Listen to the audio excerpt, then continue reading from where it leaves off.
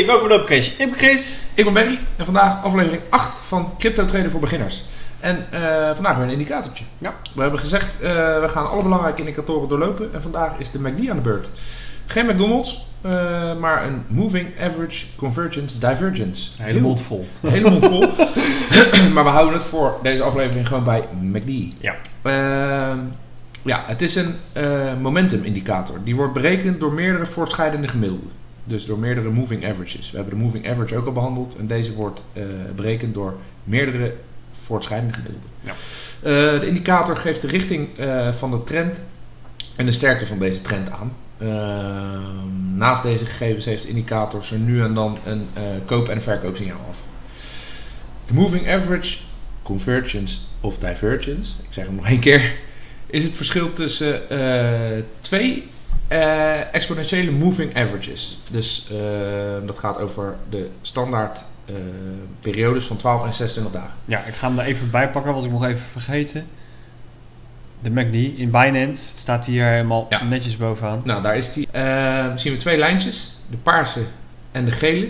En door deze paarse signaallijn is weer een eh 12-daagse exponentiële moving average getrokken en dat is de gele lijn. Ja, die kleurtjes kunnen in ieder programma wel een beetje verschillen. Ja, de Eh, verschillen sowieso. In, in eh, TradeView is die, ook weer, is die ook weer anders. Maar goed, Ja, de signaallijn is altijd de eerste lijn. dat is de En paarse. eh, ja, de andere lijn die volgt altijd. Ja. Nou ja, welke signalen... Het is heel leuk allemaal, maar welke signalen geeft de MACD-indicator nou eigenlijk? De MACD-indicator geeft als eerste eigenlijk ehm, de richting van een trend aan. Bij een oplopende MACD-lijn, en dan kijken we dus gewoon naar dit gedeelte... ehm, ja, zitten we in een eh, ja, opgaande trend, positief. Ja, en dat is ook te zien in de grafieken. En bij een neergaande, eh, hoe heet het nou? neergaande lijn, neergaande trend, gaat de koers dus ook omlaag. Dus dat eh, komt gewoon overeen. Nou, naast de richting van de trend geeft de indicator ook ehm, koop- of verkoopsignalen af. En dat maakt hem natuurlijk wel een beetje interessant, eh, deze indicator. Doorkruist namelijk de MACD-lijn opwaarts eh, de si- signaallijn. Dus die kruispunten, daar gaan we naar op zoek. Ja, daar Dan geeft, eh, dat, dan, dan geeft dat een signaal af. Ehm, In dit geval had het kruispunt een verkoopsignaal geweest. En je Ja. ziet later ook dat hij dus zakt. ja, doorkruist hij aan de bovenzijde, dan is het een verkoopsignaal. Doorkruist hij aan de benedenzijde, Wat later dus ook Ja. gebeurd is. dan is het een koopsignaal.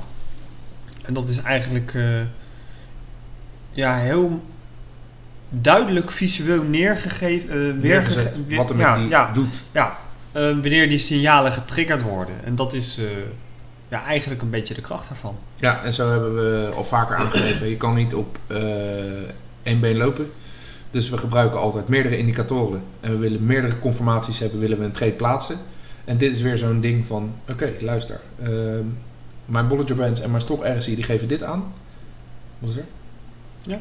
Oh, je staat nee te schudden. Nee, ik, ik luister aandachtig. Mijn Bollinger Bands en mijn Stock RSI die geven dit aan. Ehm, ik kijk ook even naar de MACD. En inderdaad, die kruist daar ook. Het is inderdaad een sterk signaal om te verkopen. Ja. Altijd uitgaan van meerdere verschillende indicatoren. Sowieso Heel belangrijk. Je moet meerdere conformaties hebben, wil je een, eh, een trade kunnen plaatsen. Want inderdaad, van één ding kan je niet uitgaan. Nee. Nou, het verschil tussen de eh MACD-lijnen geeft eigenlijk het enthousiasme weer, hè, de kracht. Ehm, hoe groter het verschil, hoe groter het enthousiasme eigenlijk. Dus hoe groter het verschil... Dat is deze eh, afstand, hè? ja. Deze afstand is hoe groter eh, het enthousiasme eigenlijk, positief of negatief. Dat kan allebei. Hè. Of je nou in een opgaande trend is of in een neergaande trend. In allebei de, in allebei de ja, verschillen komen die, eh, die breedtes komen voor. Eh, wanneer de MACD-lijnen naar elkaar toe komen, is een trend ommekeer nabij. Nou, dat is eh, zoals we daar al Bij de aangeven. kruispunten. Bij de kruispunten is een trend ommekeer nabij. En inderdaad, daarna is die ook gezakt. En bij het volgende kruispunt is die inderdaad ook weer omhoog gegaan. Dus dat geeft inderdaad best wel duidelijk weer wanneer er een ommekeer is in de trend. Ehm, ook wanneer de MACD en koersgrafiek een verschillende richting hebben, is dat een indicatie dat de trend eh, ja, waarschijnlijk doorbroken gaat Ja. worden. Want ik wilde het nog wel even duidelijk toelichten. Want je ziet hier inderdaad die enorme koerssprongen. En je ziet gewoon dat die lijnen gelijk ver uit elkaar lopen. Ja. Ehm, en als die juist eh, hard naar beneden gaat, dan lopen die lijnen ook ver uit elkaar. Dus gaan ze ver uit elkaar, dan is, dan, dan, daarmee meet je gewoon de kracht. Want is Lopen ze naar elkaar toe, dan zit er, zit er een signaal aan te komen, Ja. eventueel. Want het enthousiasme wordt wat minder. Nou kijk, het enthousiasme is heel hoog geweest. Ja. Dus je ziet ook dat hij breed is. Ja. Het wordt smaller, het enthousiasme wordt wat minder. Dus de kans dat de koers omslaat is ook aanwezig. En dat gebeurt dus ook duidelijk. Ja, nou ja, de MACD, even kort samenvattend, is een trendvolgend systeem. ehm, dat dus gebaseerd is op het eh, ja, voortschrijdend eh, gemiddeld, gemiddelde. Ehm, met deze indicator, maar dat geldt eigenlijk voor ehm, het grote deel, grootste deel van de indicatoren. Je zal nooit precies de, een bodem of een top eh, voorspellen. Dus hij kan hier een signaal afgeven. Dat betekent niet dat hij misschien nog net een tikje hoger kan. Dat kan altijd.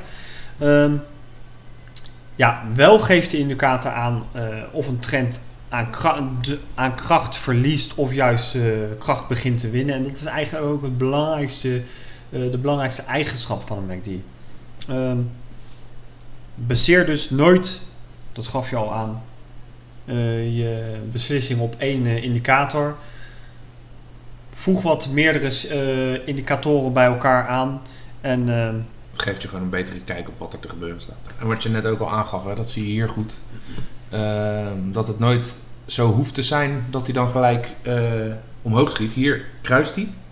En gaat hij niet direct omhoog. Hij gaat eerst nog een stukje lager. Dus Nee. dat kan altijd. Hè. Het is niet dat direct een kruispunt betekent boem, daar gaan we. het is geen garantie. Nee, maar je ziet dat hij daarna wel dus eh, gedaan heeft wat hij moet doen. Alleen ja, het kan iets langer duren. Ja. Nou, ehm, tot slot wil ik nog even zeggen dat de MACD eh, werd veel gebruikt. Ja. Maar ja, tegenwoordig is die gewoon wat minder populair omdat er eh, ja, betere alternatieven zijn. Ja, er zijn gewoon Ja, indicatoren bijgekomen die gewoon eh Hij werkt- werken. Hij werkt iets minder goed met onwijze marktschommelingen. Daar Ja. kan hij niet zo heel goed mee omgaan. Maar wat, wat we al adviseren, voeg indicatoren samen en dan krijg je een krachtig middel. Dan krijg je een veel beter, eh, beter eh, ja, overzicht. Ja, nou, dit was de MACD, aflevering 8 van eh Crypto Trader voor Beginners. Ja. Vond je het leuk? Abonneer op ons kanaal druk even op belletje, krijg je een berichtje als we een nieuw filmpje posten. Onderhand filmpjes staan alle links naar eh, zowel onze Discord, eh, merchandise van Blockchain Denim. Heel leuk om even naar te kijken. Uh, elke zaterdag hebben wij onze livestream om 11 uur. En ja, vind je het leuk, join ons kanaal. Ik zeg tot de volgende keer. Volgende keer. Later.